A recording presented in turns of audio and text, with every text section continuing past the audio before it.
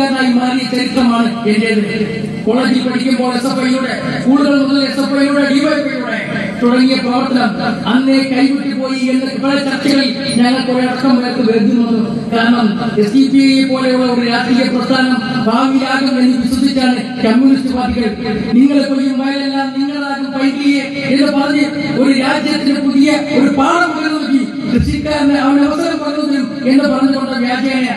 വാരിക്കുന്നതിന് മുമ്പിൽ നിന്ന് രക്തസാക്ഷി സംഭവിച്ചപ്പോ ആ പോലീസുകാരന്റെ വീടുകളിൽ നിന്ന് മൃഗീയമായ പീഡനങ്ങൾ എത്തുമ്പോ ആ പോലീസ് ബുള്ളറ്റിനുകൾ രക്തസാക്ഷികളാകുമ്പോ അവർ പറയുന്നത് അവനവന് വേണ്ടി വേണ്ടി അല്ലാതെ അവന് കുളപ്പെട്ടു പോയവൻ രക്തസാക്ഷി എന്ന രക്തസാക്ഷി ഈ രാജ്യത്തിന്റെ അങ്ങോളം ഇങ്ങോളം ഉണ്ടാക്കി വെച്ചിട്ട് ഈ രാജ്യത്തെ രക്തസാക്ഷികളുടെ പേരിൽ പണം പിരിച്ച് സ്വന്തം പോക്കറ്റിൽ വീർപ്പിക്കുന്ന ഒരു നാലാം രാഷ്ട്രീയ പ്രതിശാസ്ത്രത്തിന്റെ വക്താക്കളായി ഇടതുപക്ഷ പ്രസ്ഥാനങ്ങൾ മാറുന്നു എന്ന തിരിച്ചറിവ് ആദ്യകാലങ്ങളിൽ ഞങ്ങളടക്കമുള്ള കുറെ പേർക്ക് വന്നു. ഞങ്ങൾ പറഞ്ഞു ഈ ഒരു രാഷ്ട്രീയം ഇത് ശരിയല്ല. തമ്മിൽ തന്നെ തൊഴിൽ കുത്തുമായി ഈ സംവിധാനം ഈ രാജ്യത്ത് അപകടകരമാണ് എന്ന് പറഞ്ഞ എല്ലാ വികസന പ്രവർത്തനങ്ങളെയും എല്ലാ വികസന സംവിധാനങ്ങളെയും മുരടിപ്പിക്കുന്നു ഭരിക്കുമ്പോൾ ഒരു അഭിപ്രായം പ്രതിപക്ഷത്തിരിക്കുമ്പോൾ വേറൊരു അഭിപ്രായം.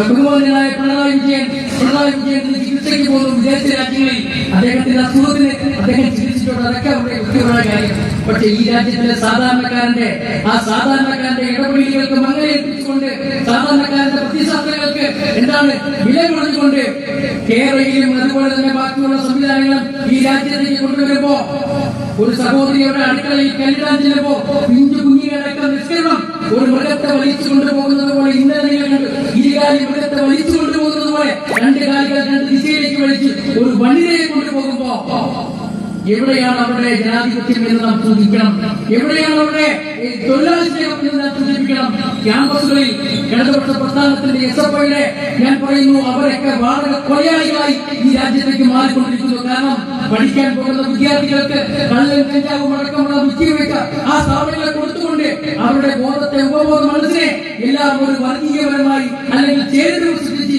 ഒരു ക്രിമിനൽ വർഗീകരിച്ചുകൊണ്ട് സ്വന്തം പ്രത്യശാസ്ത്രത്തിന്റെ നിലനിൽപ്പിന് വേണ്ടി ഇടതുപക്ഷ ഇല്ലാതാക്കാൻ ശ്രമിക്കുന്ന ഭയാനകമായ ഇടപെടലുകളിലൂടെ രാജ്യം കടന്നു പോകുമ്പോ നമുക്കറിയാം നമ്മൾ ചെയ്യേണ്ടത് എന്താണ് എന്ന്. ആർ എസ് എസുകാരൻ ബംഗാളിൽ വരുമ്പോ പ്രിയപ്പെട്ട സഖാക്കൾ ലാൽസലാം വിളിച്ച സഖാക്കൾക്ക് അവിടെ ഓടി വിളിക്കാൻ കാളികളാണ് മാത്രം അഭയം. ലെനിന്റെയും ഏകത്തിന്റെയും ചെകുവേരുടെയും കേരളത്തിൽ അങ്ങോളം ഇങ്ങോളം ക്യാമ്പസിൽ എതിരാണ് ആഹ്ലാദ പ്രകടനങ്ങൾ നടത്തുമ്പോ ആ ക്യാമ്പസുകളിൽ പോലും സ്ത്രീ സുരക്ഷയില്ല എന്ന് പറഞ്ഞുകൊണ്ട് സ്ത്രീകളെ ദയനീയമായ കാഴ്ച അത് ഈ രാജ്യത്തെ ഇവിടുത്തെ ഇടതുപക്ഷ പ്രസ്ഥാനങ്ങൾ പകർന്നു കൊടുക്കുകയാണ്. ഈ രാജ്യത്തെ എന്താണ്? ഈ രാജ്യത്തെ മതേതരം അവകാശങ്ങളുടെ ന്യൂനപക്ഷങ്ങളുടെ മുഴുവൻ സംരക്ഷകർ വിശ്വാസത്തിന്റെ ഭാഗമായി. വിശ്വാസത്തിന്റെ ഭാഗമായി ആർക്കും നടത്തിയ സമരങ്ങൾ എന്താണ് ഒരു വിശ്വാസത്തിനെ ചോദ്യം ചെയ്യുമ്പോൾ പത്തക്ക സമരം. അതുപോലെ തന്നെ തത്വമിട്ട പെണ്ണുങ്ങളെ അണിനിരത്തിക്കൊണ്ട് അവരെ ഇട്ട് നിന്നാൽ കോമാളി വേഷം കിട്ടിച്ചുകൊണ്ട് ഒരു ഒരു മത സംവിധാനത്തെ ആക്ഷേപിക്കുന്ന തരത്തിലേക്ക് ഇവർ മാറിക്കൊണ്ടിരിക്കുന്നു. അതാണ് ഈ രാജ്യത്തെ കമ്മ്യൂണിസം. ഇന്ന് അസ്തമിക്കുകയാണ്. സംഘപരിവാര ആർ ആയുധം വേണ്ടി വന്നിയപ്പോൾ ത്രിപുരയിൽ പ്രതിരോധിക്കാൻ കഴിയാതെ പശ്ചിമ ബംഗാളിൽ പ്രതിരോധിക്കാൻ കഴിയാതെ വനാന്തരങ്ങളിൽ അഭയം പ്രാപിച്ചുകൊണ്ട് സ്വന്തം ജീവൻ തിരിച്ചുകൊള്ളണമെങ്കിൽ വന്നുകൊണ്ട് സഖാവെ ഈ വിളിക്കണം എന്ന് പറയുമ്പോൾ അനുസരിക്കാനല്ലാതെ പ്രതികരിക്കാൻ കഴിയാത്ത രാഷ്ട്രീയത്തിന്റെ ഇടപെടലുകൾക്ക് ഏറ്റവും വലിയ കണ്ണത്വത്തിന്റെ കടാകളാണ് എന്ന് കമ്മ്യൂണിസം തെളിയിച്ചുകൊണ്ടിരിക്കുന്നു. അവിടെയാണ് എന്ന രാഷ്ട്രീയ പ്രസ്ഥാനത്തിന്റെ പ്രതിസന്ധി എന്ന് ഞാൻ പറയുന്നു. ഉത്തർപ്രദേശിൽ നിന്നാണ് ഉത്തർപ്രദേശിൽ ബഹുമാനായ പിണറായി വിജയൻ പോകണമായിരുന്നു. അവിടെ സംഘപരിവാരത്തിനെതിരെ പ്രതിരോധിക്കാൻ കൂട്ടായ്മ ഉണ്ടാകുമ്പോ പോകണമായിരുന്നു. പക്ഷേ നഷ്ടമുള്ള തന്റേടമുള്ള രണ്ട് നേതാക്കന്മാർ നമ്മുടെ തൊട്ടടുത്ത സംസ്ഥാനങ്ങളിൽ ഉണ്ട് എന്ന് തെളിയിച്ചു വന്നിരിക്കുന്നു. തമിഴ്നാട് മുഖ്യമന്ത്രിയും അതുപോലെ തന്നെ സ്റ്റാലിനും അതുപോലെ തന്നെ മമതാ ബാനർജി അടക്കമുള്ള ഫാസിസത്തിനെതിരെ പോരാടുന്ന ആ പട്ടികയിലേക്ക് ഇടം പിടിക്കാൻ പോലും കഴിയാതെ ആർ എസ് എസുകാരൻ മനസ്സിൽ ചിന്തിക്കുന്നത് അത് അപ്പോഴേ പ്രാവർത്തികമാക്കാൻ പതിനെട്ട് മുഖ്യമന്ത്രിമാർ ആർ എസ് എസിനായിട്ടുണ്ട് എങ്കിൽ ഒരു ഓർഡർ വരുമ്പോൾ ഒരു നിയമം വരുമ്പോൾ മുന്നോട്ട് സംവരണം വരുമ്പോൾ ഏറ്റവും ആദ്യം അത് ആർ വേണ്ടി നടപ്പിലാക്കുന്ന തൊഴിലാളി വർഗത്തിന്റെ പ്രസ്ഥാനത്തിന്റെ ആ നേതാവ് തന്നെ ഞങ്ങളും സവർണ തമ്പുരാക്കന്മാരുടെ കീഴാണെന്നാണ് എന്ന് സ്വയം നയിച്ചുകൊണ്ട് ഒരു സംവിധാനത്തെ വിട്ടുതൊലയ്ക്കുന്നു ഒരു സംവിധാനത്തെ കീഴ്പ്പെടുത്തി കൊടുക്കുകയാണ് പിന്നെ ആരാണ് ഈ സംഘപരിവാരത്തെ പ്രതിരോധിക്കുന്നത്? പിന്നെ ആരുടെ ധാർമ്മികമായ ഉത്തരവാദിത്തമാണ് പിയിൽ നടന്നത് യു പിയിൽ എന്താ പറഞ്ഞത് തെരഞ്ഞെടുപ്പ് നേരത്തെ ഞാൻ പോകാം. കാരണം അവരെ യാതൊരുവിധമായ മേന്മയുമില്ലാതെ ആ സമയത്ത് നിന്നുകൊണ്ട് തെരഞ്ഞെടുപ്പിൽ പറഞ്ഞത് യോഗി ആദിത്യനാഥ് പറഞ്ഞത് ഞങ്ങൾ എൺപതും മറ്റുള്ള ഇരുപതുമായിട്ടുള്ള മത്സരമായി ഇവിടെ നടക്കുന്നത്. ആരാ എൺപത്? ആരാ ഇരുപത്? സൂചിപ്പിച്ചു ഈ മത്സരം വികസനത്തെ കാണിക്കാനില്ലാതെ വർഗീയപരമായി മാത്രം ചിന്തിച്ചുകൊണ്ട് എൺപതും ഇരുപതും എന്ന സ്ഥലത്തിലേക്ക് നടക്കുന്നു. എന്ന് വെച്ചാൽ രാജ്യത്തെ വംശീയപരമായി സാമുദായികപരമായി ചേരുന്നത് സൃഷ്ടിച്ചുകൊണ്ട് ഈ രാജ്യത്തെ പുതിയ ഒരു വർണപരിയുടെ വർഗത്തിന്റെ ഇട്ടുകൊണ്ട് യോഗി ആദിത്യനാഥ് പോകുമ്പോ അവിടെ പറഞ്ഞത് കേരളത്തിനെ പോലെയാകരുത്. കാരണം യു പിയിൽ നമ്മൾ തോറ്റാൽ ഈ യു പി കേരളമാണ്. എന്താ കേരളത്തിലെ കുഴപ്പം?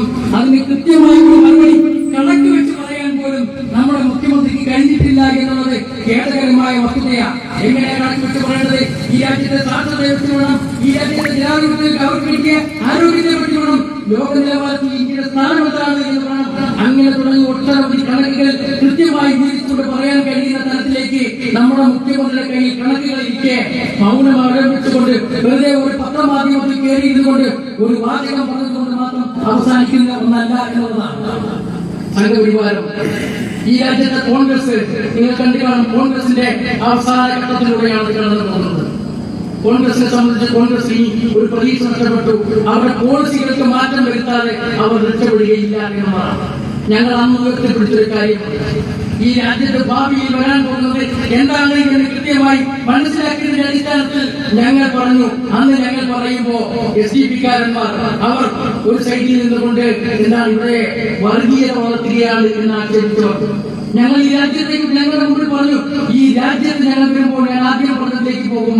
കാരണം ഈ രാജ്യത്തെ ഏറ്റവും വലിയ ഒരു രാഷ്ട്രീയ പ്രധാനം രൂപീകരിക്കുമ്പോൾ രണ്ട് മുദ്രാവാക്യങ്ങൾ ഞങ്ങൾ മുമ്പോട്ട് വെച്ചു. എന്താ രണ്ട് മുദ്രാവാക്യം? രണ്ടായിരത്തി ഒൻപത് ജൂൺ മാസം രാജ്യസ്ഥാനത്ത് നിങ്ങൾ ഈ പ്രസ്ഥാനം രൂപീകരിക്കുമ്പോൾ അവിടെ മുഖ്യ ഏറ്റവും വലിയ രണ്ട് മുദ്രാവാക്യങ്ങൾ. ഈ രാജ്യം ഇന്ന് പല രാഷ്ട്രീയ പ്രധാനികളും നരേന്ദ്രമോദി അടക്കമുള്ളവർ അമിത്ഷാ അടക്കമുള്ളവർ എന്താണ് അവരും പറയുന്നത്? ഇന്ന് ഈ രാജ്യം ഭയത്തിലാണ് ബിഷപ്പിന്റേതായ ഒരു രാഷ്ട്രീയമുണ്ട്. ഈ രാജ്യത്തെ ബിഷപ്പിന്റെ ബിഷപ്പിൽ നിന്ന് മോചനം ഭയത്തിൽ നിന്ന് മോചനം എന്ന മുദ്രാവാക്യമാണ് ഏറ്റവും ഈ രാജ്യത്തിന് അനിവാര്യമായ മുദ്രാവാക്യം എന്ന് പറഞ്ഞപ്പോ കോൺഗ്രസ് അടക്കമുള്ള രാഷ്ട്രീയ പ്രസ്ഥാനങ്ങൾ ഞങ്ങളെ നോക്കി ഇവരെന്താ ഈ പറയുന്നത് ഇത്ര വർഷം ഞങ്ങൾ പഠിച്ച കോൺഗ്രസ് ഇന്ത്യ രാജ്യത്ത് എവിടെയാണ് വിശപ്പ് ഞങ്ങളെ കളിയാക്കി ചോദിച്ചവർ? കമ്മ്യൂണിസ്റ്റുകാരെ ചോദിച്ചു ഈ ഭയത്തിന്റെ കാര്യം ആരാണ് ഇവരെ ഭയപ്പെടുത്തുന്നത്? ഞങ്ങളുടെ മുദ്രാവാക്യങ്ങളിൽ നിന്ന് ഇപ്പൊ കമ്മ്യൂണിസ്റ്റുകാരനെ ഏറ്റുവിളിക്കുന്നു ഞങ്ങളെ കളിയാക്കിയ കോൺഗ്രസുകാരും മുസ്ലിംകാരും ഈ രാജ്യത്തെ ഇടതുപക്ഷ സംവിധാനത്തിന്റെ പല ഘടകകക്ഷികളും ഇന്ന് ഏറ്റുവിളിക്കുന്നു ഞങ്ങൾ കൊണ്ട് രാജ്യത്തെ വിശപ്പുണ്ട് നിങ്ങൾക്കറിയാം ഒരു ആദിവാസിയായ മധു എന്ന ചെറുപ്പക്കാരൻ ഒരു നേരത്തെ ആഹാരത്തിന് ഗതിയില്ലാതെ ആഹാരത്തിന് ഒരു നേരത്തെ അന്നത്തിന് വേണ്ടി ഒരു സ്വല്പം അരിയും എന്തെങ്കിലും ഒരു രണ്ട് ബ്രെഡോ കാര്യങ്ങളോ എന്ന് ആരോപിച്ച് തല്ലിക്കൊള്ളുന്ന സ്ഥിതിയിൽ നിന്നുകൊണ്ട് ഞങ്ങൾ പറഞ്ഞു ആ മധുവിനെ കാണിച്ചുകൊണ്ട് പറഞ്ഞു ഞങ്ങൾ പറഞ്ഞ വിശപ്പിത ഞങ്ങൾ നിങ്ങളുടെ മുമ്പിലേക്ക് അവതരിപ്പിച്ച വിശപ്പിതാണ് ഉത്തർപ്രദേശിന്റെ മണ്ണിൽ പുല്ല് ചൂടാക്കി പുല്ല് കത്തിച്ച് പൊടിച്ച് ഗോതമ്പ് റൊട്ടി ഉണ്ടാക്കി തിന്നവരുടെ മുമ്പിൽ ചേരികളിൽ കിളികളിൽ ഞങ്ങൾ പറഞ്ഞ രാജ്യത്തിന്റെ വിശപ്പിന്റെ വിളികളുണ്ട് പിന്നെ പറഞ്ഞത് ഭയം. അത് ഇന്നും നിലനിൽക്കുന്നു. ഞങ്ങൾ പറഞ്ഞ ആ ഭയം ഇന്ന് ഈ രാജ്യത്തെ ഭയപ്പെടുത്തി കീഴ്പ്പെടുത്താൻ ഈ വരുന്ന ആർ എസ് എസ് സംഘപരിവാര ശക്തികൾ മുഹമ്മദ് അഖിലാഖിനെ പോലെയുള്ള ജുവേദിയെ പോലെയുള്ള ഈ രാജ്യത്തെ പലരും രക്തസാക്ഷികളാകേണ്ടി വന്നത് ഈ സംഘപരിവാരത്തിന്റെ കിരാതമായ കുറ്റക്കൊലകൾക്ക് മുമ്പിൽ ഇന്നും അത് കന്യാവർത്തനം പോലെ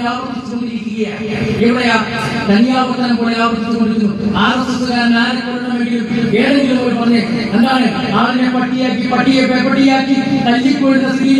അവർ ആരെയെങ്കിലും കൊല്ലാൻ തീരുമാനിച്ചാൽ അവരിലേക്ക് ചാടി വീണ് മറ്റുള്ളവരെ പോലും ഭയപ്പെടുത്തി ബാക്കിയുള്ളവർക്കൂടി ഞാൻ സോഷ്യൽ മീഡിയയിലൂടെ അത് പ്രചരിപ്പിച്ച് ഈ രാജ്യത്തെ മുഴുക്ക ഹിന്ദുത്വ രാഷ്ട്രമാക്കുവാൻ ഞങ്ങൾ പ്രതിജ്ഞാബദ്ധമാണ് എന്ന തരത്തിലേക്ക് മാറിക്കൊണ്ടു പോകുന്നു ഒരു രാജ്യത്തെ. ഞങ്ങൾ പറയുന്നു കാരണം ഇങ്ങനെ ഒരു രാജ്യം ഉണ്ടാകും ഇങ്ങനെ ഒരു അവസ്ഥ ഈ രാജ്യത്തിന്റെ സംവിധാനത്തിൽ ഉണ്ടാകുമെന്ന് കൃത്യമായി ഞങ്ങൾ പറഞ്ഞിരുന്നു. ഈ പ്രസ്ഥാനം രൂപീകരിക്കുമ്പോ അന്ന് ഞങ്ങളെ കളിയാക്കിയവരെന്ന് പറഞ്ഞു നിങ്ങളാണ് ശരി. ഈ രാജ്യത്ത് ഈ പ്രസ്ഥാനം ഇങ്ങനെ വളർന്നു വരുമ്പോ അത് നിങ്ങളാണ് ശരി എന്ന് പറഞ്ഞു. രാജ്യത്തിന്റെ പഴയ സംവിധാനത്തിൽ ബ്രാഹ്മണനും ക്ഷത്രിയനും വൈശ്യനും ശൂദ്രനും ആ ശൂദ്രന്റെ സംവിധാനത്തിൽ ആ ഒരു സംവിധാനത്തിൽ ആ ഒരു സംവിധാനത്തിലെ ഇന്ത്യ രാജ്യത്തെ കൊണ്ടുപോകുന്നു. അതാണ് മോഹൻ ഭാഗവത് അവിടെ നാഗ്പൂരിൽ നിന്ന് കൊണ്ടുവന്നത് ഇന്നിപ്പോൾ ഈ രാജ്യം ഹിന്ദുത്വ രാഷ്ട്രമായി പ്രഖ്യാപിക്കുമ്പോൾ ഹിന്ദു രാഷ്ട്രമായി പ്രഖ്യാപിക്കുമ്പോൾ ഇവിടെ ഉള്ളവർ മുഴുവൻ ഹിന്ദുക്കളായിരിക്കും. അതിന് അദ്ദേഹം കുറെ പേരുകൾ പറഞ്ഞു. എന്താണ്? അഭിമാനി ഹിന്ദു അജ്ഞാനി ഹിന്ദു കൈകൾ നാല് പേരുകൾ വിരോധി ഹിന്ദു എന്നൊക്കെ പറഞ്ഞ്. നാല് തരത്തിലേക്ക് അതായത് പഴയ സംവിധാനത്തിലേക്ക് കൊണ്ടുപോകുന്നു. ബ്രാഹ്മണനും വൈശ്യനും ശൂദ്രനും ക്ഷത്രിയനും അടക്കമുള്ള ആ സംവിധാനത്തിലേക്ക് കൊണ്ടുപോകുന്ന സ്ഥിതിയാണ് അവർ കൊണ്ടുപോകുന്നത്. അവിടെയാണ് ഞങ്ങൾ പറഞ്ഞത് ആ പഴയ മനുവാദം ഈ രാജ്യത്തെ മനുവാദം കൊണ്ടുവരുന്നതിലേക്ക് അവർ പോകുന്നു.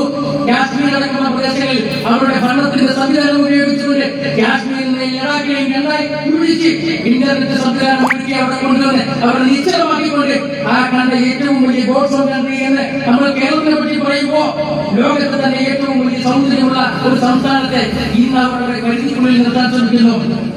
ടൂറിസം മേഖലയിൽ വികസനം എന്ന ഓമനപ്പേരിൽ ലക്ഷദ്വീപിനെ ലക്ഷദ്വീപിനെ അഡ്മിനിസ്ട്രേറ്റർ ഉപയോഗിച്ച് സംഘപരിവാരത്തിന്റെ അഡ്മിനിസ്ട്രേറ്റർ ഉപയോഗിച്ച് അവിടുത്തെ ന്യൂനപക്ഷങ്ങൾ ഭൂരിപക്ഷം തന്നെ ആ പ്രദേശത്തെ ഇല്ലായ്മ ചെയ്യാൻ ബോധപൂർവമായ ഇടപെടലുകൾ നടത്തുന്നു. എന്നിട്ട് ഇപ്പൊ എന്താ പറയുക? ഇന്നിപ്പോ കോൺഗ്രസ് മുക്ത ഭാരതം. ആ കോൺഗ്രസ് മുക്ത ഭാരതത്തിലേക്ക് അവർ യാത്ര തുടങ്ങുകയാണ്. പലരും എന്താണ്? ഡൽഹിയിൽ പുതിയ വസന്തം. ഇനി എന്താണ് പഞ്ചാബിലേക്ക് കേരളത്തിൽ എപ്പോഴാ വരുന്നത് എന്ന് പലർക്കും ആശങ്കയാണ് ആ വസന്തം അരവിന്ദ് കെജ്രിവാളിന്റെ പ്രസ്ഥാനം വരുന്നു വളർന്നു വരുന്നു. നിങ്ങൾ ഒരു കാരണം മനസ്സിലാക്കിക്കോ. കാരണം അരവിന്ദ് കെജ്രിവാൾ എന്ന രാഷ്ട്രീയ പ്രസ്ഥാനം ആർ എസ് എസിന്റെ ബി ടീം ആണ് എന്ന് കൃത്യമായി ആദ്യം പറഞ്ഞ പ്രസ്ഥാനമാണ് social democratic party of India. Anna Hazare കൊണ്ട് ഡൽഹിയുടെ തിരുവോരങ്ങളിലെത്തി സമരക്കാരെ മുഴക്കിക്കൊണ്ട് അതിലൂടെ ഉയർന്നു വന്ന ഒരു രാഷ്ട്രീയ പ്രസ്ഥാനത്തിന്റെ ആർ എസ് എസിന്റെ ഈ രാജ്യത്തെ കോൺഗ്രസ് മുക്തമാക്കണമെങ്കിൽ എല്ലാവരും മോദി എന്ന് കയറി ആദ്യം ബി ജെ പിയിലേക്ക് പോകില്ല എന്ന് അവർക്കറിയാം. കോൺഗ്രസ് നശിക്കുന്നിടത്ത് ഈ A P A Aam Aadmi വളർത്തിക്കൊണ്ടുവരിക അത് ആം ആദ്മി പഞ്ചാബിൽ ജയിച്ചപ്പോൾ അദ്ദേഹം പറഞ്ഞത് അടുത്ത ലക്ഷ്യം തമിഴ്നാടും കേരളവുമാണ്. എന്താ അത്? തമിഴ്നാടും കേരളവും ഇവിടെ ആർ എസ് എസ് അല്ല ഭരിക്കുന്നത് എന്നുള്ളതാണ് ആർ എസ് എസ് ഭരിക്കുന്നവരത്തേക്കും എ എ അരവിന്ദ് കെജ്രിവാൾ പോകില്ല പഞ്ചാബിൽ ബി ജെ പിക്ക് എത്തി കഴിയില്ല എന്ന സ്ഥിതി വിശേഷം അവർക്കറിയാം കർഷകർ കൊടുത്ത കൃത്യമായ മറുപടി ഇപ്പൊ കേരളത്തെ നോട്ടമിട്ടിരിക്കുന്നു അതുപോലെ തന്നെ തമിഴ്നാടിനെ നോട്ടമിട്ടിരിക്കുന്നു എന്ന് വെച്ചാൽ ഞങ്ങളെ സംബന്ധിച്ചിടത്തോളം ഈ രാജ്യത്തെ ഇങ്ങനെ വൈദ്യുതി മുറുക്കി അവരുടെ ആശയങ്ങൾക്കും ഡൽഹി കലാപങ്ങളിൽ ഈ രാജ്യത്തെ ന്യൂനപക്ഷങ്ങളെ കൊന്നൊടുക്കി ഈ രാജ്യത്തെ ന്യൂനപക്ഷങ്ങൾ അക്രമത്തിനിരയായി ഓടുമ്പോ ബോംബെ പോലെ ഗുജറാത്ത് പോലെ ആ കലാപത്തിന്റെ അവരോട് സാഹചര്യത്തിൽ അവരെ സംരക്ഷിക്കുവാൻ ഒരു വാക്കുവഴിയാത്ത കെജ്രിവാൾ ഇന്ന് എന്ത് പറയുന്നു? പറയുന്നു അന്നേ ഞങ്ങൾ കാരണം അന്ന് ആ കെജ്രിവാളിനെ ഉദ്ദേശിച്ച് ആ കെജ്രിവാളിനെ പ്രതീക്ഷിച്ച് ഞങ്ങൾ നിന്നുവായിരുന്നെങ്കിൽ ഞങ്ങൾക്ക് എന്ന് പറയാമായിരുന്നു അത് ഗുജറാത്തായി മാറും അത് യുപിയായി മാറും എന്ന് അസാമായി മാറും എന്ന് ഞങ്ങൾക്ക് അറിയാമായിരുന്നു. ഈ പ്രസ്ഥാനം നേരത്തെ ഇവിടെ സൂചിപ്പിച്ചു പത്ത് പതിനെട്ടോളം സംസ്ഥാനങ്ങളിൽ കൃത്യമായി പേരൊപ്പമുള്ള പ്രസ്ഥാനമാണ്. ഞങ്ങളെ സംബന്ധിച്ച് പ്രതി വിശ്വസിക്കുന്ന ഒരു പ്രസ്ഥാനത്തിന്റെ വക്താക്കളാണ്. നിങ്ങൾ അതിന് എന്ത് ഓമന പേര് വിളിച്ചാലും ഞങ്ങൾ അത് അംഗീകാരമായി കാണും. കാരണം ആർ എസ് എസിന് മനസ്സിലാകുന്ന ഭാഷ അത് എന്താണ് എന്ന് കൃത്യമായി മനസ്സിലാക്കിയിട്ടുള്ള വ്യക്തികളാണ് ഞങ്ങൾ എന്ന് ഞങ്ങൾക്ക് തിരിച്ചറിയാം. എന്താണ് ഡൽഹി കലാപങ്ങളിലേക്ക് ആർ എസ് എസ്കാരന്മാരെ ഉരുപ്പിടിച്ച വാളും ശൂലവും പോക്കും അതുപോലെയുള്ള സംവിധാനവുമായി ആ തട്ടകസിച്ചു വന്നപ്പോ അതിനോടൊപ്പം ചേർന്നുകൊണ്ട് പോലീസ് സംവിധാനം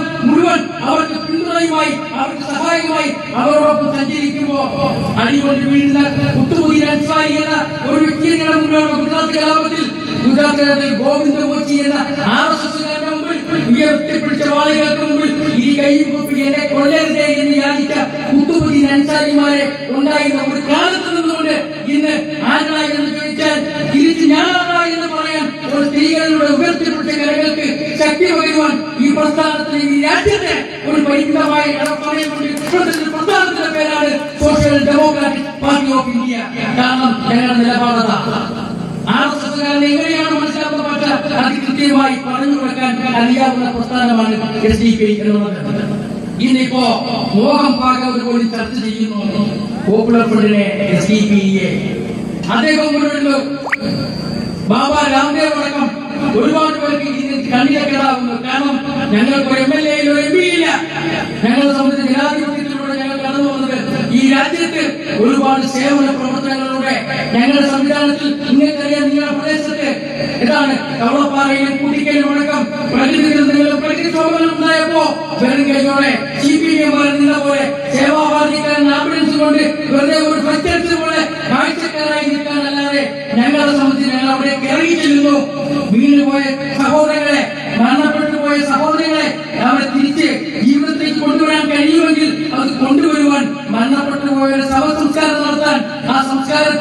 പങ്കാളികളായി അവിടെ എന്താണ് വീട് നഷ്ടപ്പെട്ടവർക്ക് അവരുടെ വാസസ്ഥലം നഷ്ടപ്പെട്ടവർക്ക് അത് വൃത്തിയാക്കി കൊടുത്ത് വീണ്ടെടുത്തു കൊടുത്ത് അവർക്ക് ആവശ്യമായ ഭക്ഷണ സാധനങ്ങൾ എത്തിക്കാൻ അവർക്ക് ആവശ്യമായ പാർപ്പ് സൗകര്യം ഒപ്പിക്കാൻ അവർക്ക് വേണ്ട ഭൗതിക സൗകര്യങ്ങൾ ഒപ്പിക്കാൻ ഈ രാജ്യത്തിൽ അങ്ങോളം ഇങ്ങോളം ഞങ്ങൾ ഉണ്ടായിരുന്നു.